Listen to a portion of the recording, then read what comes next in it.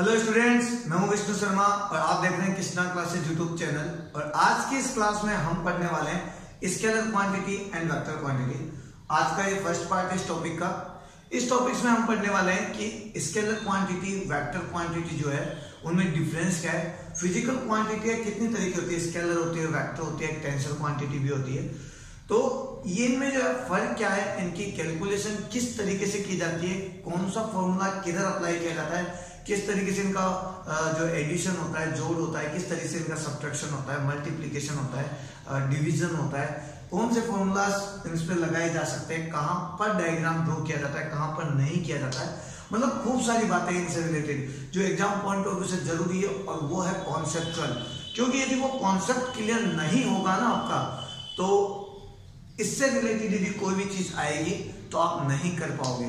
तो ज़रूरी है कि हमें सबसे पहले उसकी फाउंडेशन जो नींव है, उसके बारे में पता लगे कि ये जो टॉपिक है, ये टॉपिक कहना क्या चाहता है, इसकी प्रॉपर्टीज़ क्या, इसके गुण क्या है, कहाँ ये काम आता है, कहाँ नहीं आता है, किस तरीके से इसका यूज़ किया जाता है। तो आज हम पढ़ने वाले इस टॉपिक के बारे में।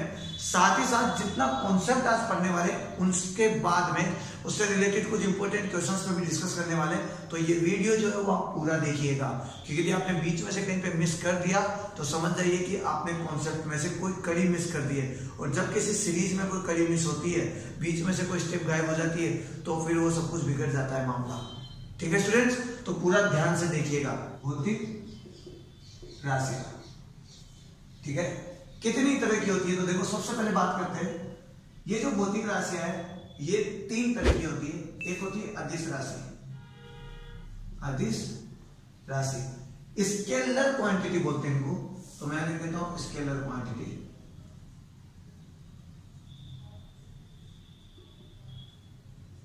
इसके अलावा एक सेकंड टाइप और है। वो सेकंड टाइप होता है वेक्टर क्वांटिटी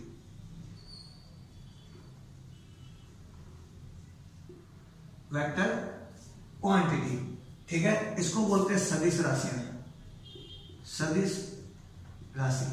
और इसके अलावा एक और पार्ट होता है इनका। कई बुक्स में उनका ज़िक्र होता है, कई बुक्स में उनका ज़िक्र नहीं होता है, ठीक है? तो जिन बुक में उनका ज़िक्र होता है तो उनका एक अलग से डिफ्रेंशिएशन रखा जाता है। और जिनमें इनका ज़िक्र नहीं होता, उनमें केवल दो ही राशियाँ बताई जाती है, अदिश राशि या सदिश राशि, उन राशियों के बारे में आपको बाद में बताऊँगा, इसलिए ध्यान से देखिएगा, क्योंकि इंपॉर्टेंट है। आई मेरी बात समझ में सबसे पहले देखिए, सदिश राशि के बारे में कुछ बातें बता देता हूँ। एक हम करते शुरुआत से स्टार्ट करते हैं ठीक है? सबसे पहले हम अधिस राशियों की बात करते हैं, देखो।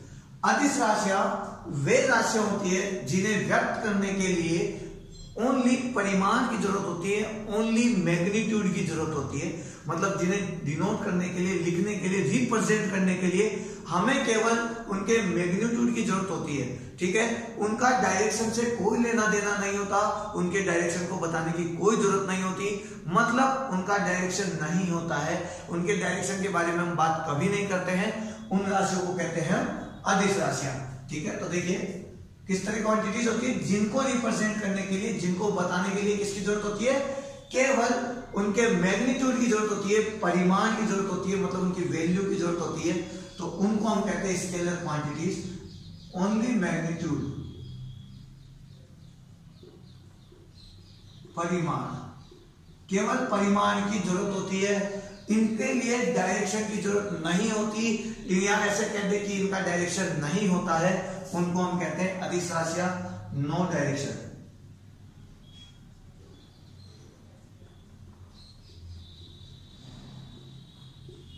इनकी दिशा बताने की ज़रूरत नहीं होती, ठीक है? जैसे मैं बात करूँ आपके पास में, दो किलो कि, मेरे पास कोई चीज़ है, दो किलो की है। अब दो किलो मतलब कौन सा डायरेक्शन दो किलो किधर?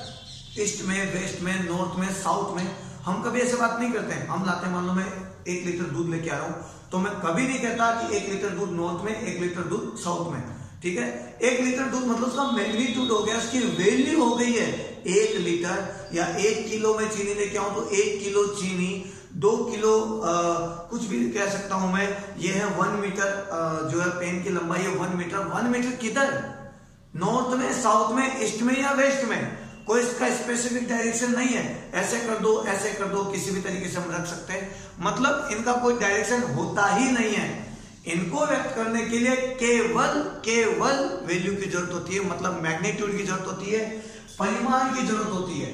उनको हम बोलते हैं अधिस राशियाँ। मेरी बात समझ में आ गई आपको? देखिए, जैसे एग्जांपल्स की बात करते हम तो इसके एग्ज़ाम्पल की बात करता हूँ मैं। किलो। ठीक है? मतलब द्रव्यमान। मास। ठीक है? लेंथ। यूनिट क्या होती है? मीटर। ठीक है? इसके अलावा volume. Icon unit metre cube. घनत्व। डेंसिटी। केजी पर मीटर क्यूब ये यूनिट है। तो मतलब ये वो राशियाँ हैं जिन्हें व्यक्त करने के लिए केवल हमें परिमाण चाहिए मैग्नीट्यूड चाहिए। कहने का मतलब केवल उनकी वैल्यू के बारे में बात करेंगे। दो किलो पाँच मीटर और आ, हज़ार के जी पर मीटर क्यूब इस तरीके से ठीक है? कभी उनके डायरेक्शन के बारे में कोई चर्चा नहीं होगी। इन्हें व्यक्त करने के लिए इनकी दिशा की आवश्यकता नहीं होती है। या कह दो इनकी दिशा ही नहीं होती है। तो उनको हम क्या कहते हैं? अधिस राशियाँ कहते हैं। आगे मेरी बात समझ में ध्यान रखिएगा, क्योंकि बहुत ज़रूरी है ये चीज़। ठीक है? आगे देखो। ये अधिस राशि है, इनके लिए दिशा की आवश्यकता नहीं होती तो सदिश है ही नहीं। जब सदिश नहीं है तो इनका योग जो है और गुणनफल जो है, वो सिंपली होता है, जैसे अपन करते हैं ना, दो इंटू दो चार, और दो प्लस दो चार, ठीक है? तो इनका जो गुणनफल है और जो योग फल है, घटाव है मतलब जो भी एडिशन सब्ट्रैक्शन मल्टीप्लीकेशन डिवीज़न जो भी है, वो सिंपली जो हमारे प्रोसीजर है, जो मैथमेटिकली हम जो सिंपली ऑपरेशन परफॉर्म्स करते हैं प्लस माइनस का जो जिस तरीके से हम करते हैं, बस वही ऑपरेशन इसमें फॉलो करने होते हैं, उसी तरीके से इनका प्लस होता है, उसी तरीके से इनका माइनस होता है। आगे मेरी बात समझ में? ठीक है? अब बात करते हैं वेक्टर क्वांटिटी देखिए वेक्टर क्वांटिटीज जो है, उनके लिए दिशा की भी आवश्यकता होती है। मतलब इनके लिए मैग्नीट्यूड भी चाहिए।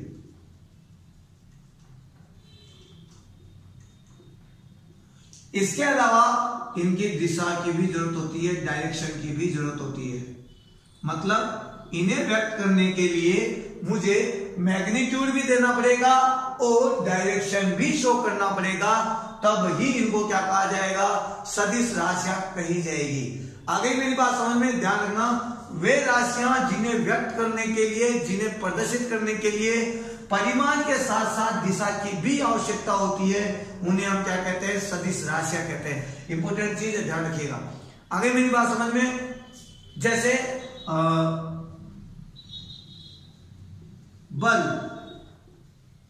फोर्स एफ़ से डिनोट करते हैं।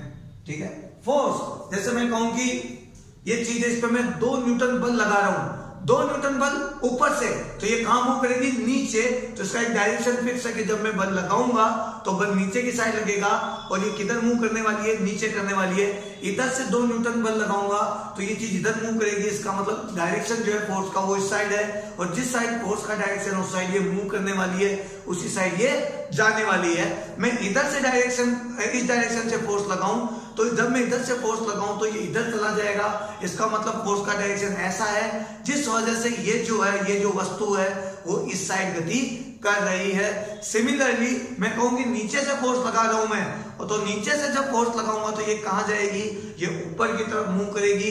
इसका मतलब ये फोर्स के डायरेक्शन में ही चल रही है।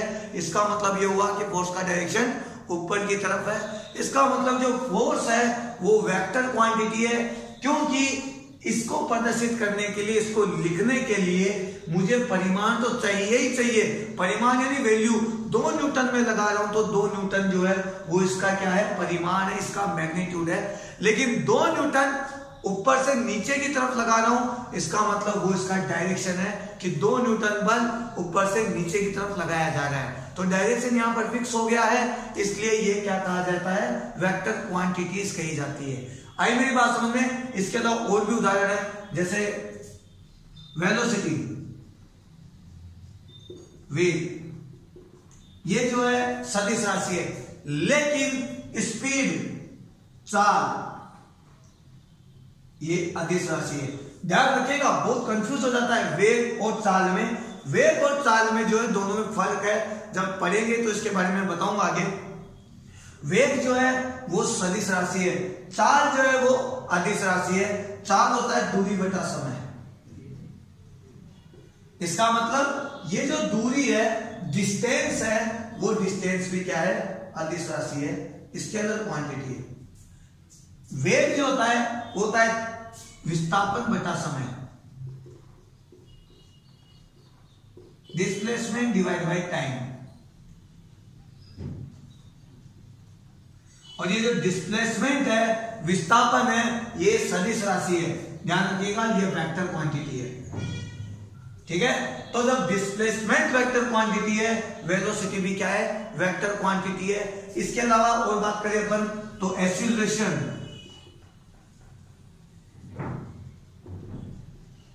तो ये भी जो है वेक्टर क्वांटिटी है। ठीक है? और हम बात करेंगे इन डिफ्रेंशिएशन के बारे में। कि कौन किस किस तरह की क्वांटिटीज होती है हम पढ़ेंगे। फ़िलहाल यहाँ पे ये एग्जांपल्स है जो इंपोर्टेंस है उनके बारे में बात की जाती है। ठीक है स्टूडेंट्स अब जो थर्ड है, वो है प्रदेश राशियाँ। प्रदेश कैंसर सबसे पहले इसकी बात की जाए तो इनके लिए जो सदिश राशि है, उनका जो योग का नियम होता है, वो क्या होता है? देखो ये जो क्वांटिटीज है, ये हमेशा सदिशों के योग के नियम का पालन करती है। सदिशों के योग का नियम। उसका पालन करती है मतलब जो इनका योग किया जाएगा, दो सदिशों को जोड़ा जाएगा, वो इस योग के नियम के हिसाब से किया जाएगा। तो ये क्या करती है? Follow law of vector sum vector sum का जो लो है, उसको फॉलो करती है। ठीक है? तो इनका जो एडिशन है, वो किया जाएगा लो वेक्टर सम के अकॉर्डिंग और इनका सिंपली सीधा सीधा जैसे two plus two four plus four इस तरीके से। अब बात करते हैं प्रदेश।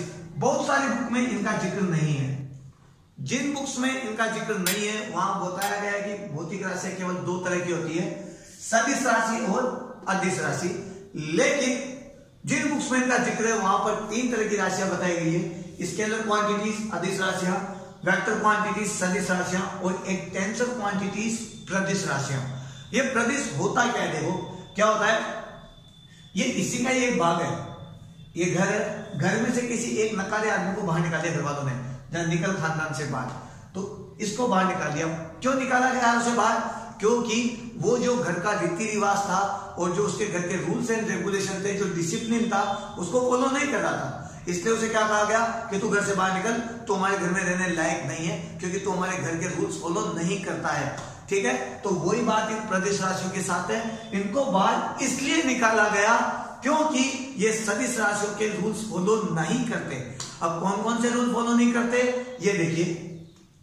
तो जो टेंशन राशियाँ हैं, वो होती है जिनका मैग्नीट्यूड भी होता है। मतलब इनका परिमाण होता है।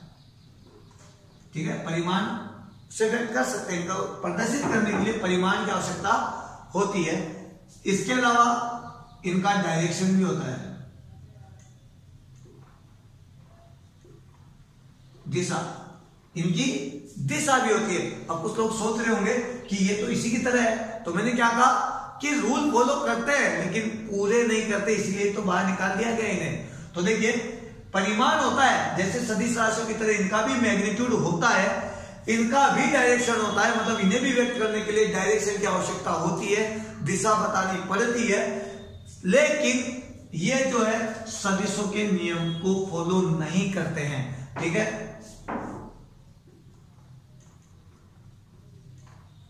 सदिशों के योग का नियम। का पालन नहीं करते। ठीक है? मतलब do not follow law of vector sum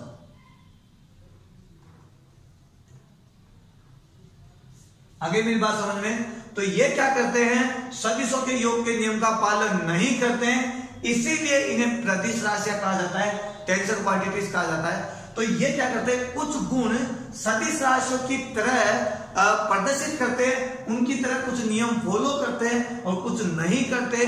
वो कौन सा नियम है? सदिशों के योग का नियम the law of vector sum इसके बारे में बताऊँगा मैं अभी कि the law of vector sum है क्या? सदिशों के योग का नियम है क्या? लेकिन ये उसको फॉलो नहीं करते। इसका मतलब ये किसको फॉलो करते इसका मतलब ये जो योग का नियम है, उसके लिए सदिशों वाला नियम ना फॉलो करके अधिशों वाला नियम फॉलो करते हैं। इसका मतलब ये कुछ बिहेव सदिश की तरह शो करते हैं और कुछ बिहेव किसकी तरह करते हैं? अधिस राशियों की तरह करते हैं स्केलर क्वांटिटीज की तरह करते हैं। इसीलिए इन्हें टेंसर क्वांटिटीज कहा जाता है। जिन किताबों में इसके बारे में बात नहीं होती मतलब जो इनका ज़िक्र नहीं करते टोटली ने नेग्लेक्ट करते हैं, वो ओनली दो क्वांटिटीज ही बताते हैं अधिस राशिया और सदिश राशिया। ठीक है? इससे पहले मैं आपसे एक बात करना चाहूँगा कि स्टूडेंट्स हम टारगेट लेके चले हंड्रेड व्यूज़ का, कि जो ये क्लास है, वो लगभग हंड्रेड लोगों तक जाए हंड्रेड लोग इस क्लास का फ़ायदा उठा सके, इस वीडियो से जुड़ सके। तो ये टारगेट जो है, वो मैं अकेला पूरा नहीं कर सकता। इस टारगेट के लिए मुझे आपकी हेल्प की ज़रूरत पड़ेगी ही। तो स्टूडेंट्स आप ज़्यादा से ज़्यादा लोगों को शेयर कीजिए, आपका जो भी जानकार है रिलेटिव जो भी है, उसे आप शेयर कीजिए, और ये जो फ्री कोचिंग चलिए, उससे जोड़िए, ताकि उनको भी फ़ायदा हो और बार बार इधर उधर भटकना ना पड़े। साथ ही साथ कृष्णा क्लासेज यूट्यूब चैनल पे ट्वेल्थ का जो फिजिक्स फाउंडेशन कोर्स है और जो कॉम्पिटिटिव मैथ है, उसकी भी प्रिपरेशन होती है। मतलब उनकी भी क्लास फ्री अवेलेबल है, उनके लिए भी प्रैक्टिस सेट अवेलेबल है। तो आप उन लोगों को भी जोड़ सकते हैं जो ट्वेल्थ में साइंस से पढ़ रहे और जिन्हें फिजिक्स की कोचिंग की ज़रूरत है। साथ ही साथ आप उन्हें भी जोड़ सकते हैं जो competitive exam patwari, police railway NTPC bank SSC इनकी तैयारी करें तो उन्हें भी मैथ्स के लिए इधर उधर भटकना नहीं पड़ेगा, क्योंकि यहाँ पर ज़ीरो लेवल से हाई लेवल तक की जो है मैथ्स की क्लास अवेलेबल है, वो भी टोटली फ्री नो कॉस्ट साथ में साथ प्रैक्टिस से भी मिलने वाला है। मतलब पूरा जो है आपके लिए सोने पे सुहागा वाला काम होने वाला है कि आप यदि एयरफोर्स के साथ यदि रेलवे की तैयारी कर रहे हैं तो आप एयरफोर्स नेवी की तैयारी भी कर सकते हैं। साथ में रेलवे के लिए कॉम्पिटेटिव मैथ भी पढ़ सकते हैं। वरना एक ही फैमिली में एक जो मेंबर है वो एयरफोर्स की तैयारी कर रहा है और दूसरा मेंबर कॉम्पिटेटिव एग्ज़ाम की तैयारी कर रहा है। तो दोनों मेंबर्स को जो है आ, पैसे वेस्ट करने की ज़रूरत नहीं है। वो डायरेक्टली चैनल से जुड़ सकते हैं और ये जो फ्री क्लासेज है उन पे ज्वाइन कर सकते हैं। वीडियो डेली देख सकते हैं अपना कॉन्सेप्ट सुधार सकते हैं। साथ में साथ प्रैक्टिस सेट को भी जो है सॉल्व कर सकते हैं। क्योंकि कॉन्सेप्ट क्लियर करना ही ज़रूरी नहीं है किसी चीज़ के बारे में जानना ही ज़रूरी नहीं, नहीं है। उसको प्रैक्टिस लाइफ में उतारना उसके कॉन्सेप्ट को यूज़ करना बार बार उससे रिलेटेड प्रॉब्लम्स को फेस करना ज़रूरी है ताकि जो है आपको एक्सपीरियंस हो कि किस तरीके का क्वेश्चन आएगा और किस तरीके का हमें सॉल्यूशन करना है। ठीक है स्टूडेंट्स आइए टॉपिक पे बात करते हैं हमारे। ये जो प्रदिश राशि है इनका एग्ज़ाम्पल बता देता हूँ मैं। जैसे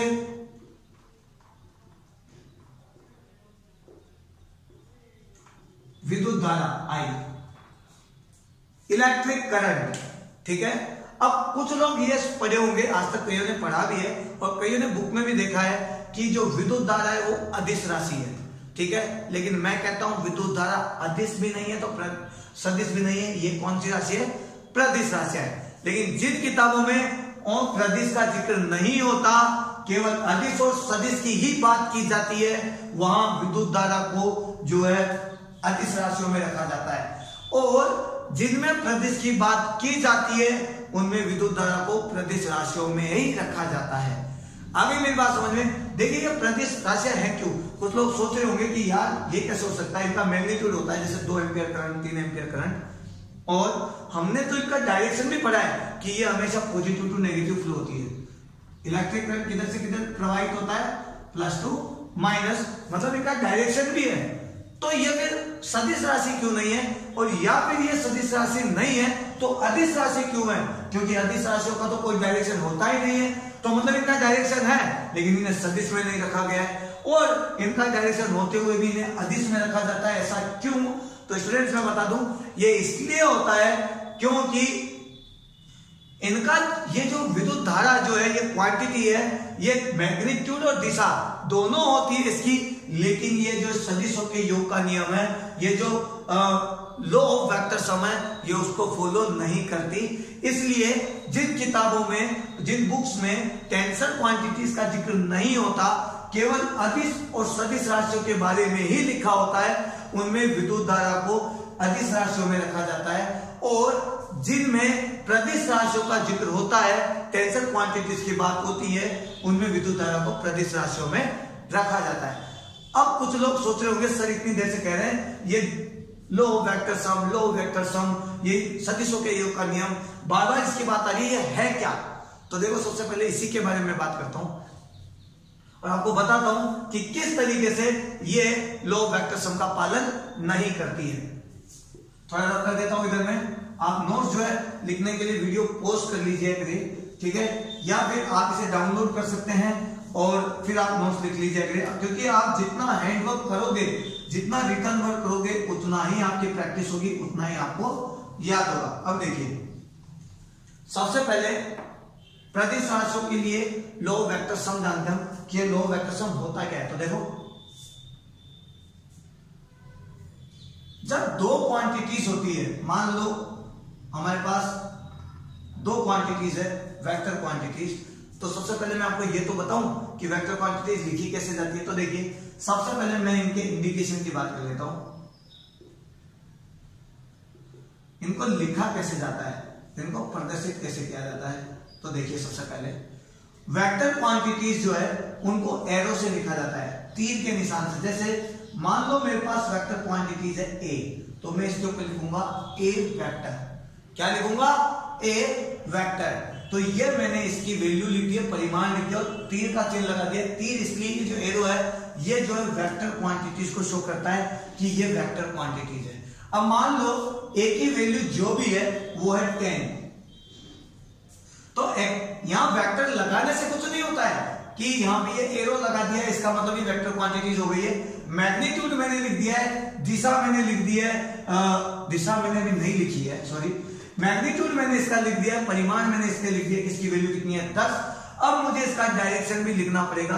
तो डायरेक्शन लिखा जाएगा आई के ठीक है? तो अब इसकी पूरा जो ये एक्चुअल वेक्टर क्वांटिटी है, वो इस तरीके से लिखा जाता है। ये ए वेक्टर है। ये बता रहा है कि मैं सदिश राशि हूँ और मेरी वैल्यू कितनी है? टेन है। और ये जो आई के अब इसके बारे में बाद में बात करेंगे। आपको है ना, थोड़ा पेशेंस रखिए, थोड़ा ट्रस्ट रखिए। ठीक है? ये जो आई कैप है, ये डायरेक्शन को बता रहा है। और आई कैप जो है, वो डायरेक्शन बताता है एक्स एक्सिस की, ठीक है? एक्स दिशा की।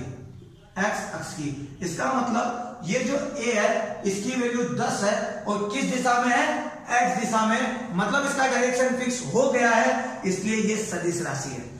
ठीक है? अभी देखिए, आगे इसके बारे में और बात करने वाले अपन। लेकिन सबसे पहले मैं सदिशों के योग के नियम की बात आपको बता दूँ। ये सदिशों का योग का नियम होता क्या है? वरना बहुत सारे लोग सोचेंगे कि सर तो डाइवर्ट हो गए अपने टॉपिक से। देखिए, जब दो क्वांटिटीज को जोड़ा जाता है, ठीक है? जैसे अधिस राशि होती मान लो, ये अधिस राशि ए और बी और इनका योग किया गया तो मैं इनको ए प्लस बी लिख सकता हूँ अधिस राशि के लिए। स्केलर क्वांटिटी के लिए। वेक्टर के लिए नहीं स्केलर के लिए सिंपली जो हम एडिशन करते हैं, वैसे। लेकिन यदि वेक्टर होता तो वेक्टर के लिए जो है एडिशन का फॉर्मूला होता है A square plus B square जितने भी वेक्टर्स है, उनको आप जो है, ये सम का फॉर्मूला है, ठीक है? वेक्टर सम सदिशों के योग का नियम। ये जो आपकी वैल्यूज़ है ए स्क्वायर और बी स्क्वायर जो ये दो वेक्टर्स है, दो वेक्टर्स है ए वेक्टर और बी वेक्टर और मुझे इन दोनों को ऐड करना है और वैल्यू निकालनी है तो मैं इनका वेक्टर सम इस तरह निकालूँगा। A square plus B square और इसका रूट करना पड़ेगा। ठीक है? इसके बारे में भी जब वेक्टर के राशि के बारे में जब पूरी बात करेंगे, तब बताऊँगा। ठीक है? तो हमें इस तरीके से जोड़ना पड़ेगा। लेकिन ये जो प्रदिश राशियाँ है, वो इस तरीके से नियम फॉलो नहीं करती, वो इस तरीके से फॉलो करती है। ठीक है? देखिए एग्ज़ाम्पल बताता हूँ मैं आपको। किस तरीके से?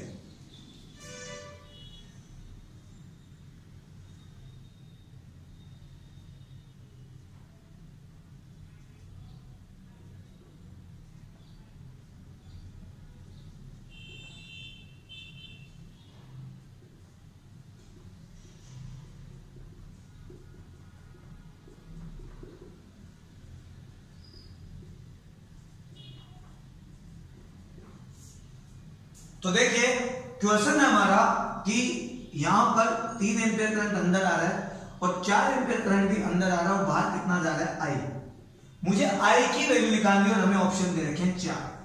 इन ऑप्शंस के हिसाब से मुझे किसकी वैल्यू निकालनी है? आई की वैल्यू तो देखिए किस तरीके से आई की वैल्यू आएगी। यदि मैं सिंपली बात करूँ तो तीन और चार सात एम्पियर हो रहा है। तीन अंदर और चार अंदर आ जाए तो बाहर कितना जाएगा? सात एम्पियर तो ये हो गया अधिस राशियों की तरह योग, ये मैंने कर दिया वेक्टर सम के हिसाब से करो तो देखो कैसे। फॉर्मूला की वेक्टर सम कैसे करेंगे? तो वेक्टर सम का जो ओरिजिनल फॉर्मूला है, जो पैरेललोग्राम समांतर चतुर्भुज का नियम है, वो होता है A square plus B square two A B cos theta ठीक है? अब देखिए, यहाँ पे थीटा कितना बना हुआ है? 90 बना हुआ है तो यहाँ पे आपको लिखना पड़ेगा 90 और cos 90 की वैल्यू होती है ज़ीरो तो मतलब ये पूरा का पूरा हो गया आपका ज़ीरो। अब हमारे पास ओनली ये बच गया A square plus B square तो अब यहाँ देखिए, जगह थोड़ी कम है, थोड़ा सा एडजस्ट करिए। ठीक है, देखो ए स्क्वायर ए को मैं थ्री ले लेता हूँ तो थ्री स्क्वायर और बी मेरा यहाँ पर फोर है तो मैं लिख देता हूँ फोर स्क्वायर थ्री स्क्वायर होता है यहाँ पर नाइन फोर स्क्वायर होता है सिक्सटीन सिक्सटीन प्लस नाइन होता है ट्वेंटी फाइव ट्वेंटी फाइव का रूट होता है फाइव तो हमारे पास दोनों ऑप्शन है इसके अंदर सम जो है उस हिसाब से और वेक्टर सम के हिसाब से जो फाइव आंसर आए वो, और दोनों ही ऑप्शन में यहाँ फाइव एम्पियर भी है सेवन एम्पियर में तो एक्चुअल आंसर होगा क्या? तो देखो, ये बात चल रही है टेंसर क्वांटिटी की मतलब प्रदिश राशियों की तो प्रदिश राशियों का जो योग है, वो हमेशा अधिस राशियों की तरह होता है क्योंकि ये योग का जो नियम है, सदिश का नियम वेक्टर सम का जो लोअर फॉलो नहीं करती। इसका मतलब ये सेवन एम्पियर जो है, वो हमारा करेक्ट आंसर होगा। और फाइव एम्पियर हमारा करेक्ट आंसर नहीं होगा। तो ये जो है प्रतिश राशियों में और सदिश राशियों में दोनों में डिफरेंस है। ठीक है स्टूडेंट्स तो अगली क्लास में हम जो है वेक्टर क्वांटिटीज के बारे में ढंग से डिस्कस करने वाले हैं कि वेक्टर क्वांटिटीज को जो लिखा किस तरीके से जाता है वेक्टर्स कितने तरीके के होते हैं, किस तरीके से वेक्टर को रिप्रेजेंट किया जाता है, किस तरीके से उनकी कैलकुलेशन की जाती है, किस तरीके से मल्टीप्लीकेशन किया जाता है। ठीक है स्टूडेंट्स और कितने तरह की वेक्टर क्वांटिटीज होती है? तो नेक्स्ट वीडियो में हम बात करने वाले हैं वेक्टर क्वांटिटीज के बारे में। एकदम ब्रीफली तो आप जो है नेक्स्ट क्लास मिस मत करना। आज थोड़ा अर्जेंटली थोड़ा वर्क है, इसलिए आज की क्लास थोड़ी छोटी है। ठीक है? क्योंकि हमारा मेन फोकस ये होता है कि हमें गागर में सागर बनना है। क्लास का वीडियो या क्लास थोड़ी छोटी हो, लेकिन नॉलेज ज़्यादा से ज़्यादा हो जाए। इसलिए इस टेबल की तरह बनाकर मैंने इसको रिप्रेजेंट किया है। थोड़ा एग्जांपल दें ताकि ये तीनों जो है क्वांटिटीज उनके बीच में आप डिफ्रेंशिएट कर सके, इन तीनों क्वांटिटीज में अंतर समझ सके। ठीक है स्टूडेंट्स तो मिलते हैं नई क्लास में। इसके साथ यदि आपको ये वीडियो पसंद आए तो आप इसे लाइक कीजिए शेयर कीजिए सब्सक्राइब करना मत भूलिए। साथ ही साथ बेल आइकन पर क्लिक करना मत भूलिए, ताकि आपको लेटेस्ट नोटिफिकेशन मिलता रहे। और यदि आप जो है पीडीएफ चाहिए आपको क्वेश्चन पेपर चाहिए, इसके अलावा पीडीएफ फ़ाइल में तो आप मुझे टेलीग्राम और व्हाट्सएप ग्रुप पर ज्वाइन कर सकते हैं, जिसका लिंक मैंने डिस्क्रिप्शन में दे रखा है। तो स्टूडेंट्स मिलते हैं नई क्लास में।